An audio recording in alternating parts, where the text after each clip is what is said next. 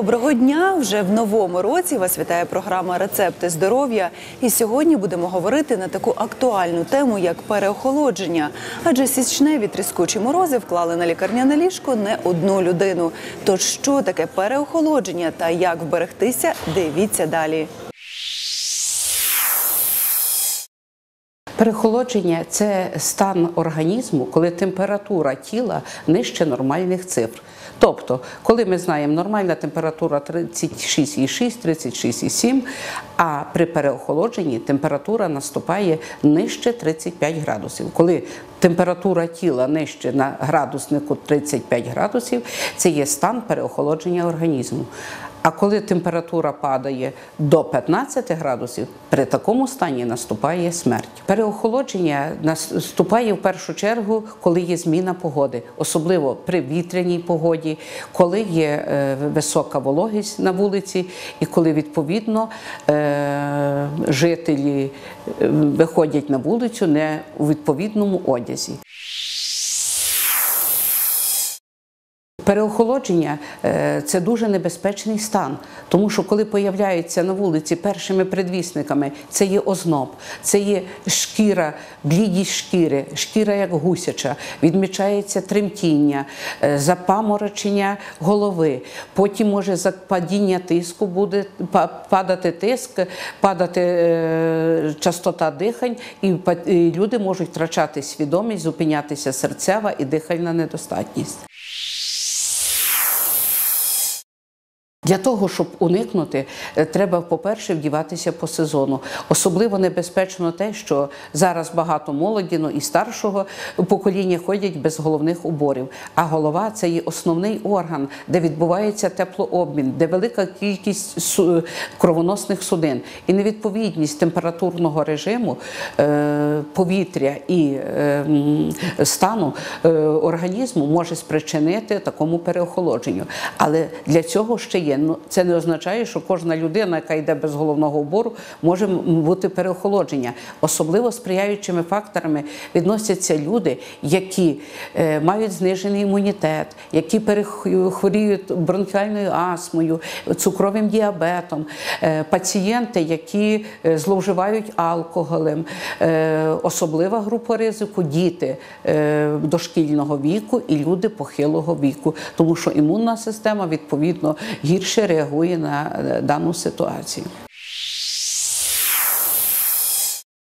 По-перше, місцево впливаючи на е, е, волосяний мішечок, де містять кріпиться волосинки, може бути випадіння волосся.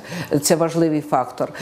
Можуть бути з невралгії невралгії однієї з віток тройничного нерву, е, невралгії лицевого нерву. Це переостудження нервових закінчень, які можуть переводити і до деформації обличчя завдяки. Крім того, можуть із переохолодження наступати серйозні запалення мозгових оболонок, арахноїдіти, енцефаліти. Ходіння без головного убору, крім тим, що фактори переохолодження е, можуть впливати. Є такі діагнози, як вегетосудинна дистонія, тому що це впливає впливає на стан кровоносного русла, це сприяє згущенню крові, і це наступають потім відповідні е, такі судинні кризи. Навіть можуть бути і втрати свідомості.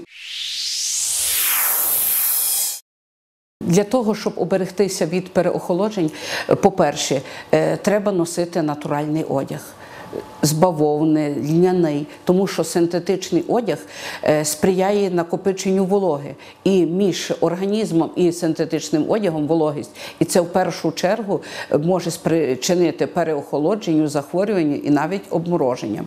Е, для цього треба носити одяг, який би мав пошаровість, носити натуральні е, носки, рукавиці, навіть мати у сумці запасні, тому що бувають випадки, коли мокрі руки чи ноги зайти в приміщення відповідне, попити теплий чай, попити каву. І е, дуже особливо, коли людина відчуває, що змерзла на вулиці переохолодження, необхідно не зразу різко розігріватись, зайти в приміщення і на віддалі від зігріваючих приладів, щоб організм поступово наступало е, е, розігрівання і приведення до нормальних температур тіла. Продукти збагачені вітаміном С, яке сприяє профілактиці вірусних. Це, зокрема, цибуля, чеснок, які містять багато фітонцидів, мають противірусну, також лимон, грейпфрукти, ківі, які збагачені вітаміном С, і це теж має противірусну дію. Ну, звичайно, при найменших таких відхиленнях звертатися до медичних працівників, тому що дуже небезпечно прийом е, препаратів е, е, жарознижуючих, які можуть мати побічні дії, які можуть блокувати нирку, які можуть приводити до виразкової хвороби. З практики багаторічної чітко і відомо, коли ми збираємо анамнез у пацієнтів, як правило, пацієнти, хворіючи на гостре респіраторне е, захворювання, вживають горілку з перцем. Розпитуєш, приймав горілку з перцем, бо думав зігрітися. По-перше, алкоголь. Як чому не можна вживати? По-перше, він знижує імунні захисні сили. По-друге, він впливає на за на залози внутрішньої секреції. Він е, знижує імунну систему, він знижує виділення шлункового соку. Е, Він е, також ем, ослаблює захисні сили організму. І алкоголь найбільший є шкідник при захворюванні простудних, які приймали. Фактично з цими важкими пневмоніями, якщо поступали, то пацієнти пробували самотужки лікуватися вживанням алкоголю. Однак, незважаючи на будь-які мінливості погоди, жінка повинна виглядати на всі 100.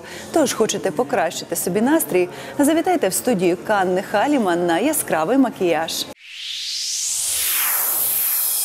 Всім привіт! Раді вітати вас в студії макіяжу Ганна Халіман. І сьогодні ми вам запропонуємо зимовий мейкап.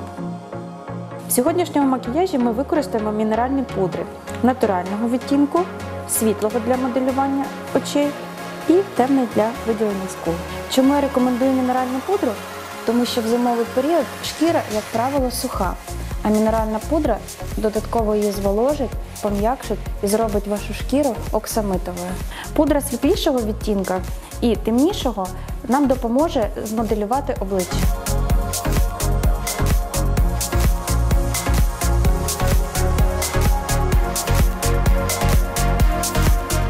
Свіжості та зимових акцентів нам додадуть перламутрові текстури. Сяючу текстуру ми наносимо на зону рухомого повіка, а також на зону надскульної дуги. Сміливим акцентом вашого макіяжу можуть стати яскраві губи.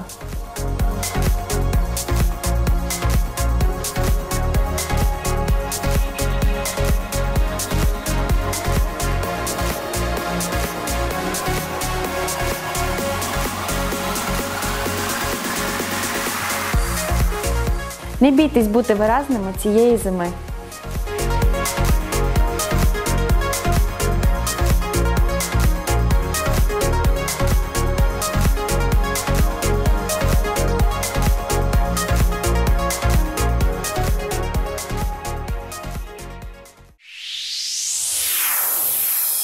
Що ж, наразі це все, що ми для вас підготували. Сподіваюся, вам було цікаво. Дивіться нас, як завжди, щопонеділка та щочетверга о 21.00 на каналі 402. І не хворійте.